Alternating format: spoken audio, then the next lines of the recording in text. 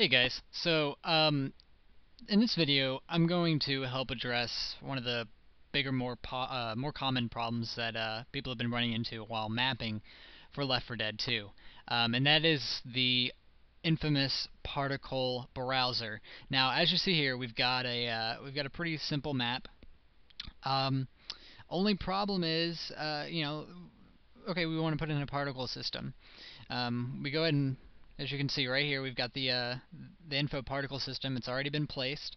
Um, we go ahead and open up the um, oh, you know, the, the, the options menu, and uh, let's go ahead and look. Let's okay, cool. All right, so we notice that we've got this new in, this new particle system browser, which is fantastic because um, in the past you had to rely on um, you know, if you didn't know exactly how a particle system looked or how it um, you know, as far as spacing was goes, you know, you had to go in game and you had to make adjustments um, on an individual basis. And what this lets you do is it lets you, you know, if you're not familiar with the particle system, you can look at it and you can get a kind of an idea of what it looks like before you even have to load in the game. Um, so, you know, fantastic way uh, of speeding up mapping, um, and it's a great addition by Valve to the Hammer system. Only problem is, we go ahead and we click Browse, and there's no PCF files. Uh, the particle systems aren't there. Um, the problem is whenever the uh, authoring tools were shipped out, the particles that were supposed to be referenced to with the particle browser, um, they weren't included in the Left 4 Dead 2 files. Um, they remained in the VPKs, which are basically where um, you know these like think of them as as specialized Steam or I'm sorry, specialized Valve WinZips. Um, they remain in there and they're not extracted out. And so whenever we hit rescan, doesn't matter what options we choose, it uh, it's it's not it's not reading the particle systems. Um, good thing is there is a fix. Uh, it's there are a couple places on the internet where you can find it referenced, but there's really no um, you know, you, I had to mess around with it for a little bit before I finally figured it out. So I figured I'd make a video and and uh, and make it a lot easier. Um, so basically, for this, you're going to need uh, a program called GCFscape. Um, it's a free-to-use program. Um, let's see if I can the edge of the there it goes. Um, it's a free program, uh, very lightweight, quick download. Um, you can find it. Just Google GC, GCFscape, uh, and it'll be the first the first result. You want to pick the installer um, for GCFscape version 1.7.5 full. Uh, just hit installer, save, and uh, whenever it downloads, you just go ahead and install it. Um, now, uh, uh whenever you get uh, GCFscape installed, um, let's close out some of this stuff uh, you have to basically what you have to do is you have to go into the game files and move the particle systems into a place where the particle browser can find them. Um, so, and this may differ depending on how your computer is set up. Uh, but go to the install directory for Left 4 Dead, um, which is usually Steam or program files, Steam, uh, Steam apps, uh, Common, Left 4 Dead 2. Um, and then Left 4 Dead uh, 2. And then you, you'll scroll down and you'll find these. These are the Valve pack files, VPKs. Um, and uh, you're going to look for one called pak01_dir. Uh, and that's the directory for the first set of, of files. Um, and it's going to bring up GCFscape. And uh, here you've got a list of, of folders where data is contained within these uh, VPKs.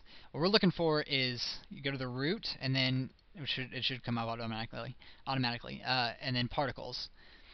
Double click on it, and you'll get this full list of of these files called PCF files. These are the particle files that we need. Um, click at the very top, bloodfx.pcf, uh, scroll down to the bottom, and then shift click on witchfx.pcf, and it'll select the entire directory. Um, and then what you're going to want to do is go to, um, well actually just right click on it, on the, uh, on the files, click extract, and then you're going to want to extract these to a temporary file. Now you see, I did this about 10 minutes ago, so we're going to make a, you know, we've already got a temporary file set up, but you want to extract it to this temp folder, um, and you'll see why in a second. Um, all those files will be pulled out of the VPK, and uh, they're going to be put into this temporary folder, which I put on my desktop. Um, go to this temporary folder, and here you have it. You have all these PCF files. Now this is currently in a form where the particle browser can use them. Um, go ahead and shift click so you can select them all. Uh, it's really important. There's a document in here that's not a PCF file. It's uh, it's a text document called particles.manifest or particles underscore manifest, and uh, that is what it's sort of think of it like a uh, um, uh, you know roster or a list within these PCF files. Without it, you, the particle browser won't be able to function. Um, so be sure that that text document is included. Um, if you just selected all the files in the particle folder in the VPK, then it'll automatically be extracted, but don't forget to copy it over. Um, so we're going to hit copy, and um, copy those files.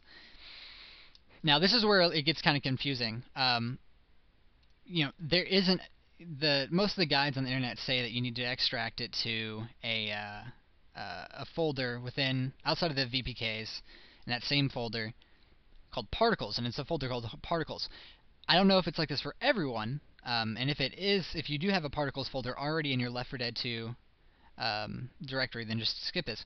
But uh, for me, I didn't have a particles folder, and it confused you know the hell out of me until I just you know I on a hunch I just went ahead and created the particle file, extracted the files in, and uh, it all worked. So what you're going to want to do is make sure that you're in the same directory as the pak01 directory file.